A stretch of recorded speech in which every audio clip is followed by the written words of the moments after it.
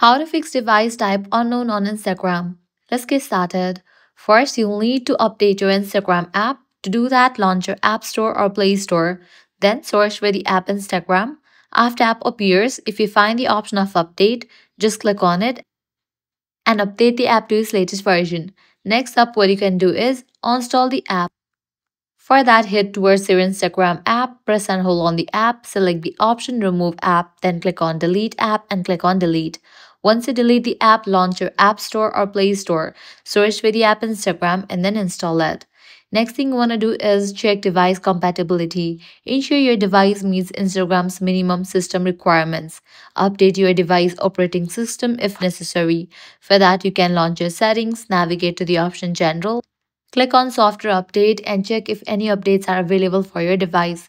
Next, verify network connection. Switch between Wi-Fi and mobile data to see if the issue persists. Or you can reset your network settings if needed. For that, you can navigate to General, scroll down, click on Transfer or Reset iPhone, click on Reset, click on Reset Network Settings and go through the process. Next, log in from a different device. Try accessing your Instagram account from another device. If the issue does not occur, it may be specific to your original device. As a last resort, what you can do is wait and retry. Some users have reported that this issue resolves on its own over time. Wait for a few hours or days and check again. If the problem persists, consider reaching out to Instagram support for personalized assistance. So that's a wrap for this video. If this guide helped you out, don't forget to like, share and subscribe to our channel. Thanks for watching.